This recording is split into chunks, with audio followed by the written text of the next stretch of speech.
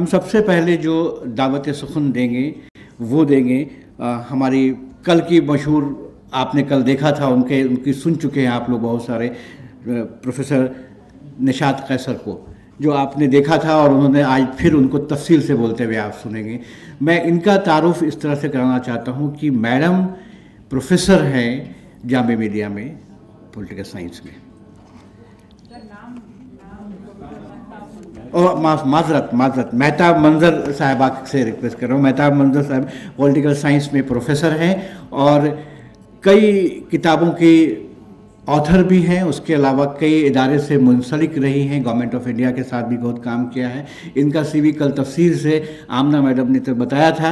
मैं फिर भी थोड़ी और वजाहत के साथ कर दूँ कि आपका जो कंट्रीब्यूशन है, वो वेमेंस पर भी कंट्रीब्यूशन है। आपने कई सोसाइटी में काम किया है। कई हमारे कह सकते हैं कि आप जो पॉलिसी मेकिंग ऑर्गेनाइजेशन है, उसके साथ भी जुड़ी हुई हैं। तो मैं बड़ी अदब के साथ आपको बुलाना चाहता हूँ, मैडम। आप तो प्लीज़ इस दो रोज़ा कौमी उर्दू सेमिनार बरए समाजी उलूम के खसूस इजलास में, दूसरे खसूस इजलास में आप सबका है। अब चूँकि एक आधा घंटा देर से हम शुरुआत किए हैं, वक्त का ख्याल करते हुए फिर जुमा भी है, उसका भी लिहाज रखना पड़ेगा। तो मैं हमारे जो हैं स्पीकर हैं उनसे रिक्वेस्ट करूँगा कि 15 मिनट में अपने खिताब को मुकम्मल करने की कोशिश करें। अस्सलाम वालेकुम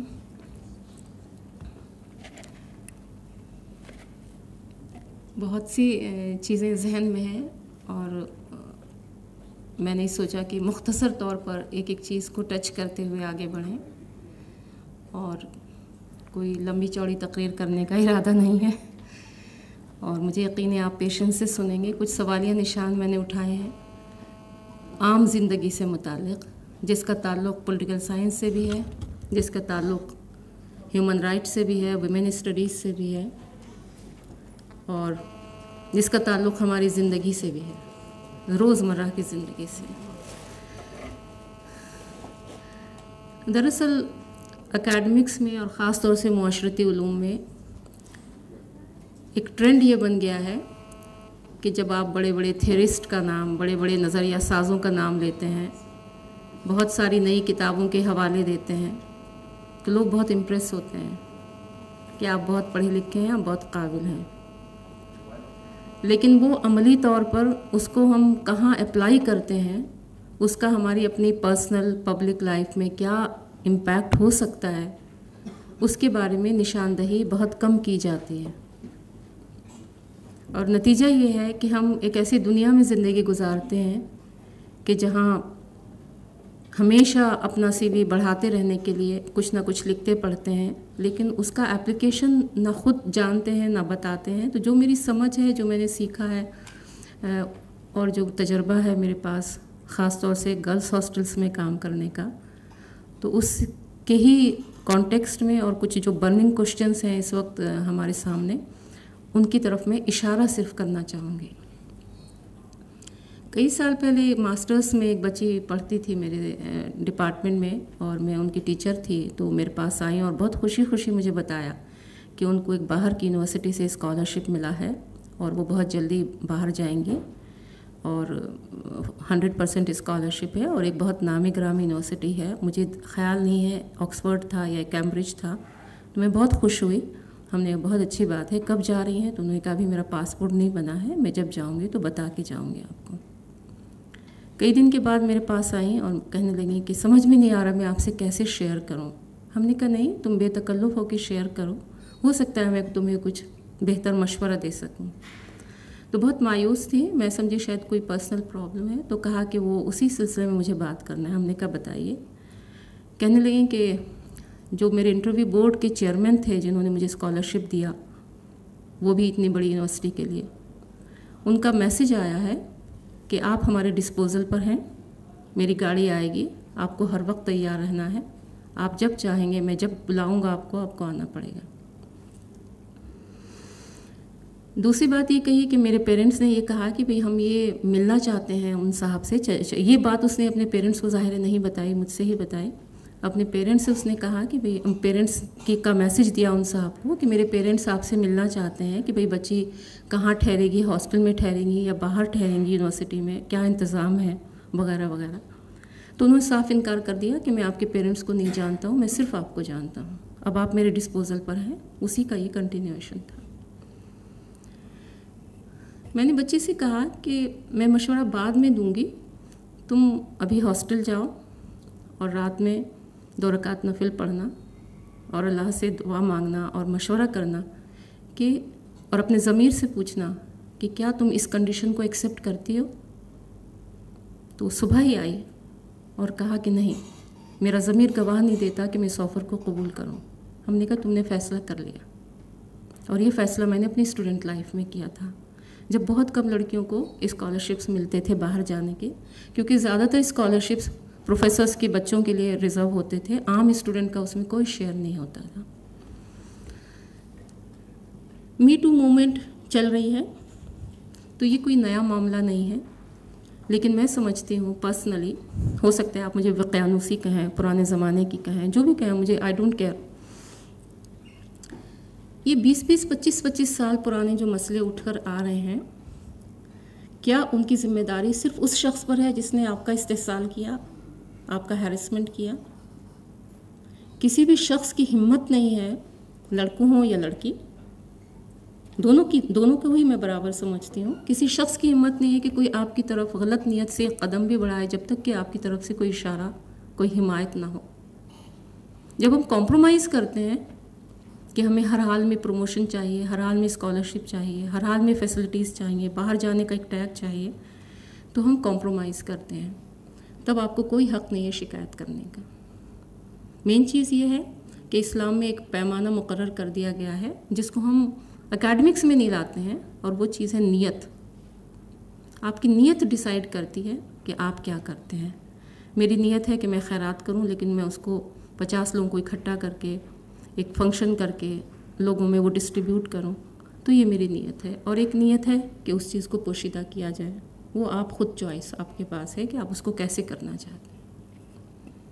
एक और बात, बग़ैर यूनिवर्सिटी का नाम लिए मैं बताना चाहूँगी।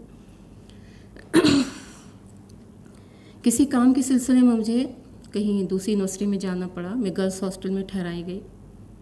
तो ये उस वक्त की बात है जब मोबाइल नहीं थे। और जब भी क्या क्या होता था यूनिवर्सिटीज़ में, उसका अंदाज़ा कर सकते हैं। तो मैंने देखा कि एक लड़की को आवाज़ लगाई जा रही है ज़ोर शोर से और मैं लॉबी में थी और कहा कि, जल्दी करो जल्दी करो, सर आ गए सर आ गए बहुत सारी लड़कियाँ जमा हो गई अरे अरे, तुम यहाँ क्यों खड़ी हो? जल्दी करो, तैयार हो, सर आ गए सर आ गए तो मैंने देखा कि मतलब काफ़ी खुशी का सा माहौल लग रहा है। तो लड़की गई अपने कमरे में, अपने हाथ पे उसने नाइट सूट डाला और वो चले गए। और सुबह को मैंने देखा वो हॉस्टल में थे। वहाँ जो बच्चियाँ बातें कर रही थी उससे मैंने अंदाज़ा लगाया कि ये आम प्रैक्टिस है। इसमें ख़ता किसकी है? ये मेरा सवाल या निशान है। दूसरी बात, या तीसरी बात मैं कहूँगी कि निठारी का केस हुआ, निर्भय का केस हुआ, और बहुत से केसेस हुए। ज़ाहिर है लोगों ने कैंडल मार्च किया। हज़ारों लोगों ने हज़ारों घंटे खर्च किए एहतजाज में, जो जायज़ भी था। लेकिन एक हकीकत जिसका ताल्लुक़ हमारे मज़हब से भी है, जिसका ताल्लुक़ हमारी सिविल सोसाइटी से भी है, हमारी पर्सनल लाइफ से भी है, उसको हम क्यों इनकार करते हैं? मैं अपनी ही मिसाल देती हूँ।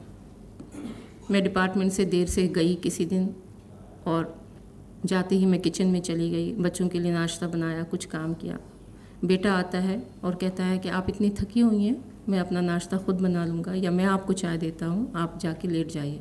हमने कहा, नहीं, कोई बात नहीं, अभी मुझे नींद भी नहीं आ रही है, मैं खुद कर सकती हूँ। जब मुझे ज़रूरत होगी, मैं आपसे कह दूँगी। लेकिन वो ज़बरदस्ती मेरा हाथ पकड़ते हैं और मुझे कमरे में ले जाते हैं कि आप आराम कीजिए और मैं अपना हाथ छुड़ा नहीं पाती हूँ। ये एक फ़िज़िकल पावर या एक सुपीरियरिटी जो अल्लाह ने मर्द को दी है। अगर मैं ये कहूँ कि मैं रात के दो बजे किसी ढाबे पे जाकर चाय पीकर अपनी आज़ादी का ऐलान करूँ तो क्या मैं इस काबिल हूँ फ़िज़िकली कि मैं किसी को फेस कर सकूँ, किसी के साथ अपना दिफा कर सकूँ, किसी के मुकाबले में? इस किसी भी उम्र में मैं बाहर नहीं जा सकती, मुझे ऐसा लगता है और मुझे कोई ज़रूरत नहीं महसूस होती उसकी। और ये ट्रेनिंग माँ से मिलती है। चौथी बात, बच्चों के मुतालिक, बच्चे खो रहे हैं, बच्चे सुसाइड कर रहे हैं। बच्चे बड़ी तादाद में उनका एक्सप्लॉयटेशन हो रहा है हर जगह। एक बहुत रफ एस्टिमेट है यूनाइटेड नेशन का कि बच्चों की सेल और परचेज़ या ह्यूमन ट्रैफिकिंग का जो तजारत चल रही है दुनिया में, वो तकरीबन तीन खरब डॉलर की है। और उसमें बहुत बड़ा हिस्सा हिंदुस्तान के ज़रिए या हिंदुस्तान के रास्ते से और हिंदुस्तान के थ्रू होकर जा रहा है। बंगाल से, सबसे ज़्यादा बच्चियाँ बंगाल से नॉर्थ ईस्ट से जा रही हैं।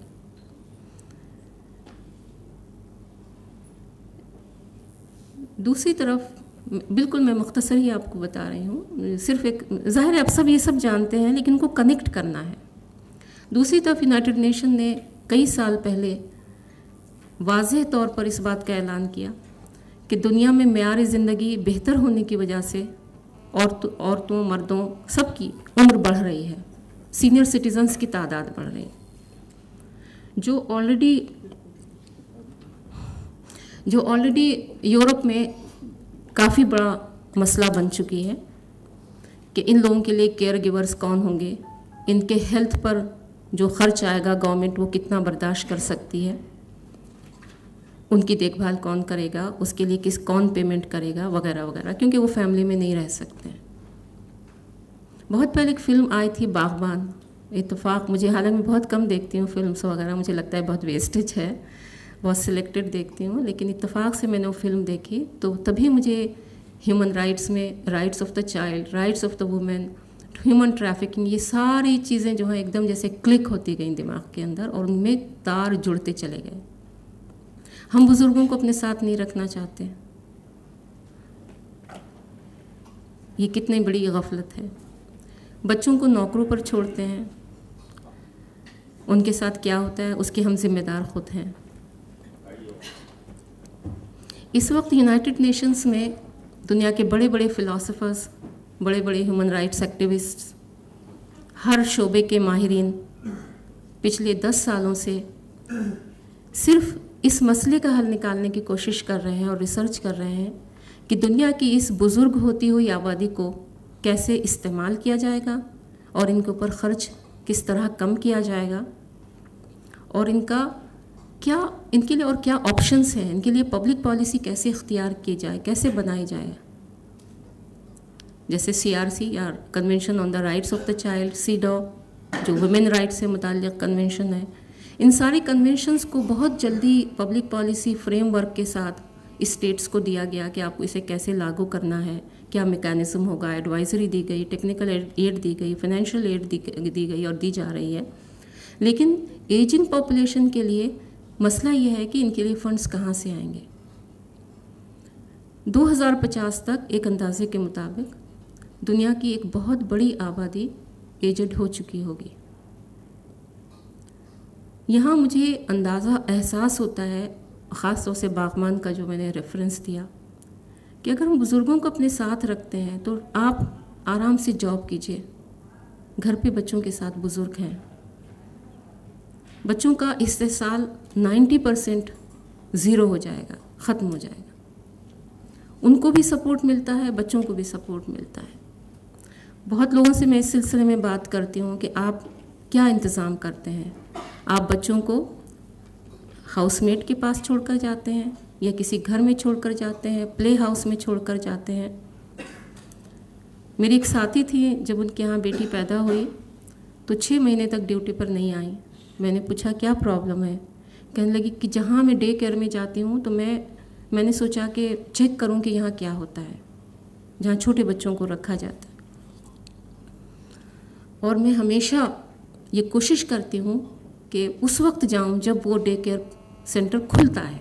सुबह के आठ बजे या सात बजे जब लोग बच्चों को ड्रॉप करते हुए अपने ऑफ़िस जाते हैं कॉलेज जाते हैं। तो उन्होंने जो सूरत हाल अंदर की बताई, वो बहुत ही खौफनाक, जहाँ नन्हे बच्चे रखे जाते हैं। उसमें से एक दो चीज़ों का रेफरेंस हमने अखबारों में भी पढ़ा। कि एक बच्चे के साथ बहुत बड़ी प्रॉब्लम हुई, उसको दिखाया गया डॉक्टर्स के यहाँ एम्स में चेकअप हुआ, बहुत सीनियर डॉक्टर ने चेकअप किया उसका और बताया कि ये बच्चा ड्रग एडिक्टेड है। तो उन्होंने कहा, हमारे घर में कोई ड्रग्स नहीं लेता और ये बच्चा सिर्फ़ छः साल का है, कैसे ड्रग एडिक्टेड हो जाएगा? तो उन्होंने कहा, आप कोशिश कीजिए कि कहाँ से कनेक्शन है इसका? तो मालूम ये हुआ कि डे केयर सेंटर में जैसे ही बच्चों को छोड़ के जाया जाता है, बच्चों को नशीली दवा या कुछ भी चीज़ सुंघा दी जाती है या पिला दी जाती है और वो बच्चे सोते रहते हैं। जब माँ अपने ऑफ़िस से या वालिद अपने ऑफ़िस से जाते हुए बच्चे को लेकर जाते हैं तो बच्चा सोता हुआ मिलता है तो वो यही सोचते हैं कि शायद बच्चा खेल रहा था और थक कर सो गया होगा, वो घर ले जाते हैं। मालूम हुआ वो उसकी पूरी ज़िंदगी ख़राब हो गई क्योंकि अब उसका मेंटल डेवलपमेंट प्रॉपर नहीं होता है फ़िज़िकल डेवलपमेंट प्रॉपर नहीं होता। तो हम डे केयर सेंटर्स पर एतबार करते हैं, हम डोमेस्टिक हेल्प पर एतबार करते हैं ड्राइवर्स पर एतबार करते हैं, जाओ बच्चे को स्कूल से ले आओ, जाओ बच्चे को स्कूल छोड़ आओ। हम कभी उसको कंपनी नहीं करते हैं, उसको टाइम नहीं देते हैं। और नतीजा ये है कि बच्चों के एक्सप्लाइटेशन की राह हम खुद हमवार करते हैं। इसमें बहुत सोच और फ़िक्र की ज़रूरत है। काम करने के लिए कोई नहीं मना करता है, लेकिन काम के लिए खुद आपको अपनी शर्तें, अपने उसूल खुद तय करने होंगे। आपको अपनी डिग्निटी का ख्याल करते हुए ये सोचना होगा कि क्या आप बच्चों को ड्राइवर्स के हवाले कर सकते हैं? मैं बहुत साल एक बहुत पौश कॉलोनी में रही जब मैंने जॉब शुरू किया और जामिया नगर में बहुत दिनों के बाद में आई। उस पौश कॉलोनी में मैं देखती थी कि मतलब ज़ाहिर है ज़्यादातर हर घर में तकरीबन चार चार पाँच गाड़ियाँ हैं, ये इधर ड्राइवर खड़े हुए हैं, उधर ड्राइवर्स खड़े हुए हैं। मैंने अपनी आँखों से देखा कि उस घर की बच्चियों और उस घर के ड्राइवर्स में सेक्सुअल रिलेशंस थे। उनकी बातचीत से अंदाज़ा कर सकती थी मैं कि ये किस अंदाज में उस बच्ची से बात कर रहा है, क्योंकि बच्ची जो है वो ड्राइवर्स की डिस्पोजल पर है। So we have to you know be conscious of our duties rights की तो हम बाद में बात करते हैं। पहले हमें अपने हकूक़, अपने फ़राइज़ का ख्याल करना है कि हम बच्चों की परवरिश कैसे कर रहे हैं? हम बुज़ुर्गों को इग्नोर करके अपना भी नुकसान कर रहे हैं, उनका भी नुकसान कर रहे हैं। हम बच्चों की कनेक्टिविटी नहीं बना रहे हैं, बड़ों के साथ, ख़ानदान के साथ। और फिर हम अपने बुढ़ापे में देखते हैं कि हमारे बच्चे हमारी खिदमत नहीं कर रहे हैं, या हमारा देखभाल नहीं कर रहे हैं, या हमारी तरफ़ निगाह उठा के नहीं देख रहे हैं, क्योंकि वो कल्चर हमने अपनी फैमिली में डेवलप नहीं किया है। और ज़ाहिर ये सब करने के लिए बहुत सख्त क़वत बर्दाश्त की ज़रूरत है। बहुत क़वत बर्दाश्त की ज़रूरत है। सब लोगों को साथ लेकर चलना, सबको मिलकर एक साथ रहना और ये हमारा मज़हब भी सिखाता है और ये सिविल सोसाइटी की डिमांड भी है। और इसी उसमें सिर्फ़ आखिरी एक पॉइंट मैं कहना चाहूँगी, हालाँकि बहुत सारे पॉइंट्स थे जो मैं कहना चाहती थी, लेकिन फिर कभी और मौके पर कि सोशल इंटीग्रेशन की बात की जाती है इंटरनेशनल लेवल पर सोशल इंटीग्रेशन कोई मसनू चीज़ नहीं है, कोई नज़रिया, कोई अप्रोच नहीं है, कोई ऐसी थियोरी नहीं है, कोई किसी लैब में डेवलप हुई। सोशल इंटीग्रेशन यही है, जो ख़ानदान में, आपस में, ख़ानदान से बाहर, पड़ोस में, और उससे बढ़कर कम्युनिटी में उसको डेवलप किया जाता है। और वो किसी आर्टिफिशियल तरीके से पैदा नहीं किया जा सकता। कोई स्टेट हमारे लिए कानून बना सकती है, बच्चों के लिए कानून बना सकती है। सीआरसी पढ़िए convention on the rights of the child तो बच्चे के लिए बेहतरीन हकूक़ उसमें शामिल किए गए हैं। बच्चे के लिए हर तरह का इंतज़ाम करने के लिए कहा गया है। लेकिन ये सब चीज़ें प्लेटो के ज़माने से इम्पॉसिबल है। प्लेटो ने भी ये कॉन्सेप्ट दिया था कि जो बच्चे बहुत इंटेलिजेंट होंगे, उनको स्टेट अपने कंट्रोल में रखेगी, उनकी एक तरह से, ख़ास तरह से परवरिश होगी वगैरह वगैरह। और वो बेस्ट सिटीजन्स होंगे फ़िलासफ़र किंग बनाए जाएँगे, वगैरह वगैरह। लेकिन ये चीज़ें उस लैब में नहीं, बल्कि फैमिली लैब में ही होती हैं। तो मेन चीज़ ये है कि हमें इन चीज़ों की तरफ़, इन इश्यूज़ की तरफ़ ध्यान देना है। जो पब्लिक पॉलिसी मैटर्स भी हैं फैमिली मैटर्स भी हैं सिविल सोसाइटी से भी कंसर्न है, हमारे इंडिविजुअल जो पीस है, हमारा पीस ऑफ़ माइंड है, उससे भी कंसर्न है। आखिरी बात आपकी इजाज़त से। ज़ाहिर है हम लोग हॉस्टल में भी बहुत रहे हैं कॉलेज में भी रहते हैं और बहुत सारी चीज़ें देखते हुए ऑब्ज़र्व करते हुए जाते हैं। तो अक्सर मैं देखती हूँ, बहुत माजरत के साथ जो बच्चियाँ नकाब पहने हुए हैं कि नकाब पहने हुए हैं, हाथ पैर सब ढके हुए हैं, सब कुछ है। लेकिन एक सुनसान कोने में एक साहब के साथ बैठी हुई हैं, गले में हाथ डाला हुआ है, हँसी मज़ाक हो रहा है कह कह लग रहे हैं। तो मैं अपने आप से सवाल पूछती हूँ कि क्या पर्दे का ये मतलब है?